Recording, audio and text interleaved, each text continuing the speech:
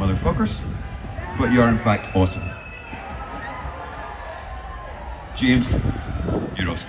You're fucking awesome, man. Right back at you, brother.